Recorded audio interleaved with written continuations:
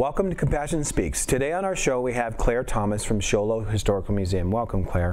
Thank you. Thank you for having me. You bet. Mm -hmm. So I understand that mm -hmm. you've done this before. This isn't your first rodeo. well, yes, that's right. This isn't.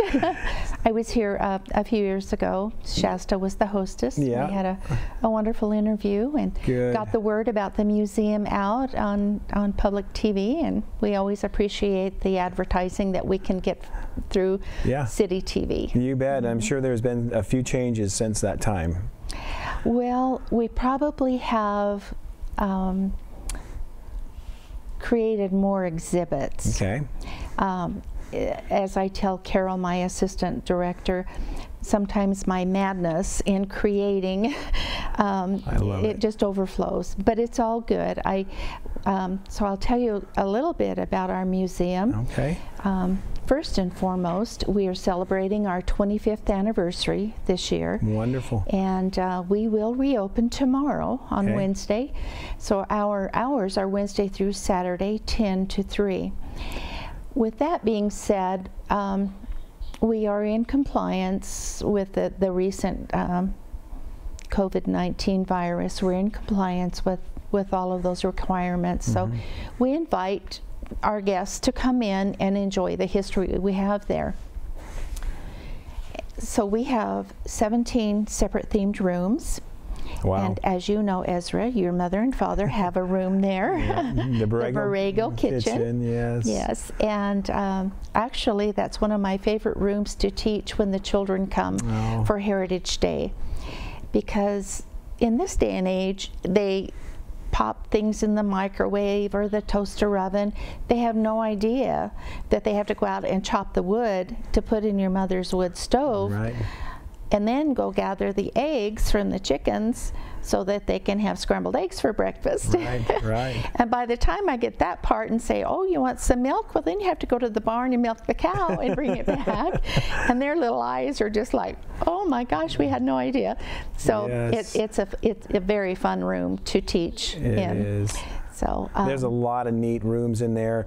Uh, do you still have the Eb Lewis room in there? Oh, most definitely. He is one of my favorite people. Yes. I remember during the parades, he would go down down the parade. He never knew what he was going to do each year, and he always had a surprise for everybody. I know. We all didn't we all wait? Yeah, just wait. Yeah. So anxious for that.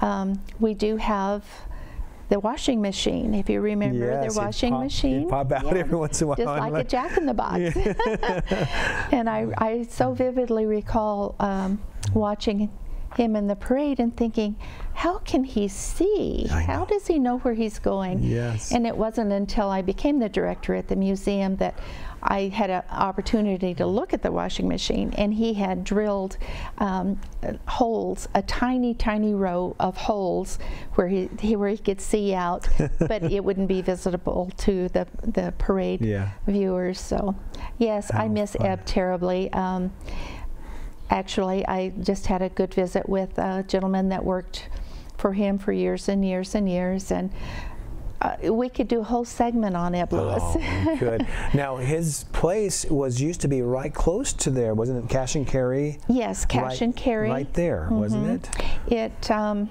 let me see.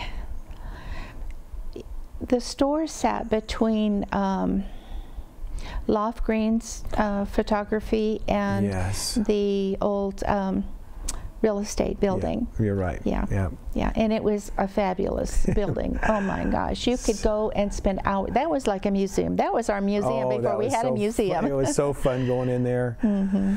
So I'm a big train lover. I love trains. Mm -hmm. And my nickname was Choo Choo growing up. Oh, okay. For, for different reasons, not besides like trains, but mm -hmm. it's, you have a big uh, do you have two different train sets in there, or is it one big one? I it's remember. it's one large one. Okay. Um, the museum has a, a, gentleman's partnership with the Silver Creek Railroaders Club, and they uh, came on site in 2008, and so they occupy the um, the old courtroom because that used to be Navajo County Justice Court yep. there. And um, so when that was relocated, then the train club uh, came in and they started building. And oh my goodness, have they built? I, I believe, and I could be wrong, but I believe they have six different trains that they can run at one time. Wow. And so uh, it began with uh, um, the last train to Maverick. And those of us that have been here for a while know that Maverick was a logging town. Yep. So Maverick, McNary, and then it kind of spilled over into Route 66 Mhm. in uh, Holbrook and Winslow. Yeah. And um, it's just a beautiful layout. They, they do all their own work. They make all the rocks, all the trees, um, create all of the, the grounds and, and the miniature cars. It's an HO scale, so it's, Right. it's very small. Yeah. But um, and then we had the privilege of having our artist um, Steve Taylor. He uh, painted the walls, the murals, Oh, wow. and um, some of those are my favorite because the scenes that the railroaders uh, have. Then Steve took that and um, created a scene um, as if the trains or the cattle or um, the cars were coming right out of the wall. Wow. How neat. Hmm. That is a man, and there's a little boy in every man. And when a, um, men or women that love trains Mm-hmm. or love the history of what those trains represent, just it brings you back to your childhood or it makes you feel young again when you're in there seeing all that go. And it's just so cool. Absolutely, and and the gentlemen that work on that, they are. Sometimes I'll take a peek in there, and they're either just huddled together, just like little boys. it's like, oh well, let's move this train here and Yeah. that engine there, and they are. They're so excited about what they do, and that spills over to our guests, and our guests really love love the trains, and so. Um, and, speaking of the trains, the train room will be open uh, to our, our visitors. It won't be as um, active at first because we're just unsure, but we will have an engineer on site and um, an engineer in the workroom if uh, people have questions about how they build things or whatnot. So How fun. Now, there's a, a lot of other things you talked about that's in there. You said how many different exhibits? Was it we have s- 17, Uh, separate themed rooms. Okay. Um, and then, in addition to that, we have our hallways that, of course, I have to just fill up. My, the, the latest uh, exhibit that I've been working on is um, the education hall. And that will include history of all of our schools here on the mountain, Oh, wow. beginning with the Snowflake Academy. Yeah.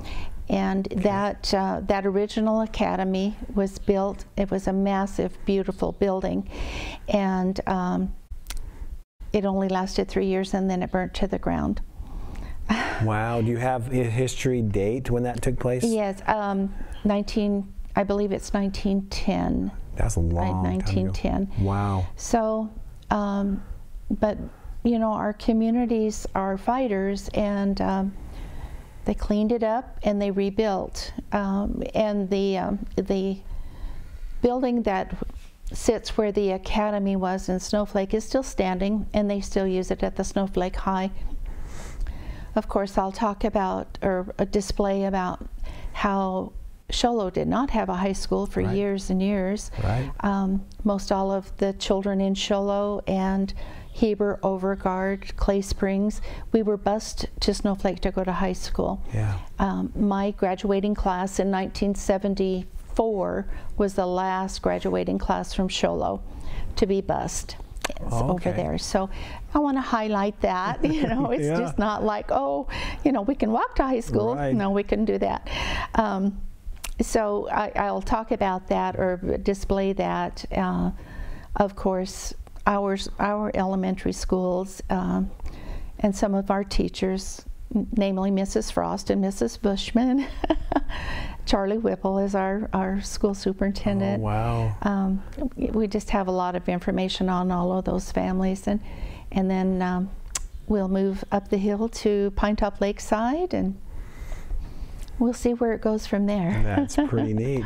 So there's other highlight um, rooms in there. Tell me some of some of the other favorite rooms that you have that people would look forward to going and seeing.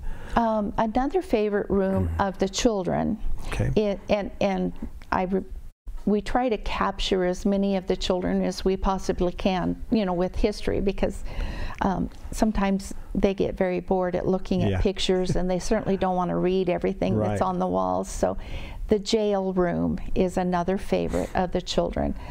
And so that um, I'll talk a little bit about that side of the building. Uh, the west wing was originally a sporting goods store built by Mary and Bill Sexton in 1960. Then the police department, um, the city of Show Low and the police department then bought that from the Sextons, and that's when they put in the separate rooms okay. that are there now. The city was down one hallway, the police department was down the other. So, you know, you look at our facilities now, and think that they were all in that one little room in that building. But they, um, the police department built a holding cell, and it's in the in the very back of the building um, to house. Um, I hate to call them prisoners, but yeah. people that maybe got a little rowdy on yeah. a Friday night. maybe it's not so so good choices. um, so yeah. when the police department uh, relocated into their first new building. Then the museum was able to take that side of the building over in 95, 94 and then we opened in 95 but the children loved the jail because we left it we left it just intact that's wow. the way it was wow. i mean we have a lot of memorabilia on the walls um, we have a wonderful um, exhibit honoring officer reed um, as well as our past uh, police um, chiefs of police and officers. But back to the children, they, uh, again, it's a favorite room because I explained to them that if they did get in trouble and they were brought in, that they would be um, handcuffed and that they would be fingerprinted. And we have the actual fingerprint board and yeah. all of that. And then that they would be handcuffed to the bench and then eventually get in the cell. And so they think it's so cool to go into the cell yeah. because there's three beds, but when you close the door, it's not so fun. no. Reality starts setting in on them. Yeah. they can't go nowhere. Mm -hmm. How fun. Do you have a? We're going to be taking a break in just a little bit. When we come back, tell me a little bit about if you know if you have anything on the history of the Deuce or how it was named, uh, history of Show Low there, any any stuff like that. Okay. And any other things that might stand out of, for the White Mountains that uh, we can talk about. So Absolutely. stay. Okay. That'd be awesome. So stay tuned. We'll be right back.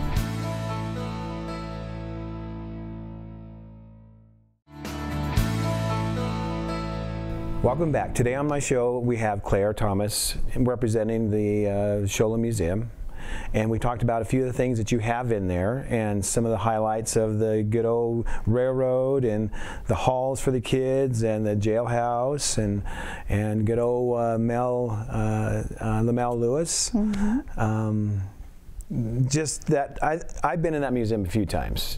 Not only to be able to see my mom's and dad's room with the Borrego kitchen, but there's so much fun stuff in there. I love history. I love, especially because I'm a native here. You know, I right. want to know about mm-hmm. more about my mm-hmm. hometown and the White Mountains and stuff. Um, I just, and when on our break, we're talking about certain other things about the history of Show Low. Um, if, it, if you guys have other stuff in there, but there was a a lot of people don't know about this clinic that was where NPC is now, that was called Josephine Goldwater Hospital. Do you have a little bit of stuff in there about that? We do. We most certainly do. Um, as I shared earlier, Show Low did not have a hospital for many years. So if you were going to be born, you either had to go to Snowflake to the birthing house or uh, to McNary, mm -hmm. to the mm-hmm. McNary General um, Hospital, or be born at home. The Josephine Goldwater Hospital was an undertaking that uh, began in the mid to late 50s. And this community band together um, to make that happen. The reason it has the name Josephine Goldwater is after Senator Barry Goldwater's mother. That's okay. That's I didn't know for that for sure. I thought it was his wife. It'd go back and forth with mom, so it is his mom. It is his Okay. mother, and uh, Mrs. Goldwater was uh, quite a adventurous pioneer woman. She came from back east all by herself at a young age, traveled on the rail uh, all the way into Phoenix and perhaps California. I, I think maybe she was going to California, but I'm not real sure about that. But we have the history there in the Show Low Business Room about the hospital. And so the, um, well, I'm not sure if it's the administration building now, but the, the hospital is room or building is still intact.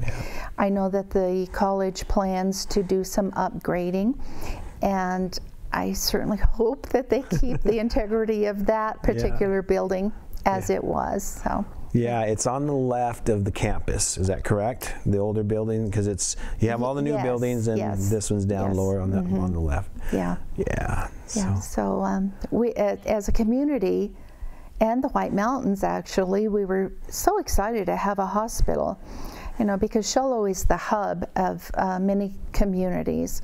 You either have to, if you're coming in from Clay Springs, Linden, Burton, well, you have to come into Show Low. Same for St. John's, Springerville, you have to come to Show Low before you can go to Pinetop Lakeside or go to Taylor Snowflake Shumway. Yeah. So it's all, it's, we are really the hub. And uh, so, you know, and that's served um, our community very well in growth because of our outlying communities.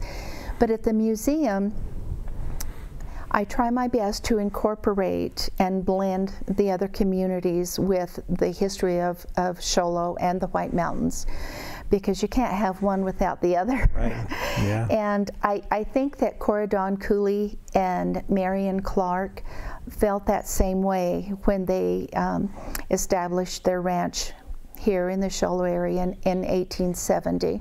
wow. And uh, Corydon Cooley came from back east, from Virginia.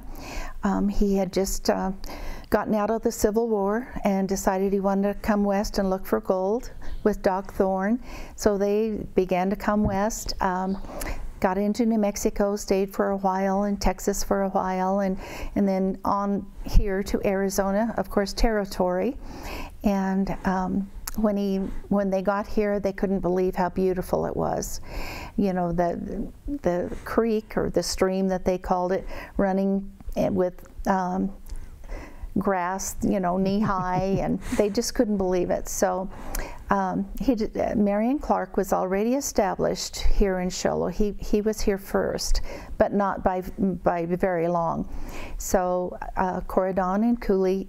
Corydon Cooley and Marion Clark formed a partnership on a 110,000 acre ranch. Wow. So that encompasses a great deal of the White Mountains if you think Wow. about acreage. Yeah.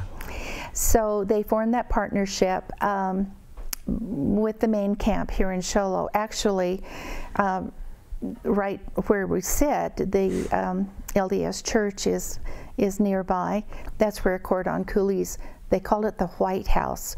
It was a beautiful, beautiful, large, uh, two-story building home, and that's where his home sat. Was where the downtown chapel is at. So that where we're sitting right now, we're sitting on history. um, Wow. Corydon uh, quickly realized that his service uh, experience would serve him well, and he joined the ranks uh, in White River dur- during the uh, the Geronimo campaign as a scout. With that being said, that left Marion Clark to tend this ranch, and that was a large undertaking for one person Wow. because um, Mr. Cooley was gone a great deal.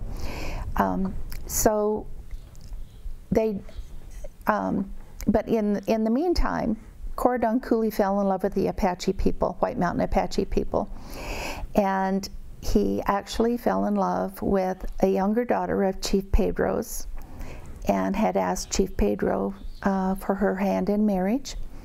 And Chief Pedro said, Well, in our tradition, the oldest daughter has to marry first. I don't know for sure, but this is how I tell the story.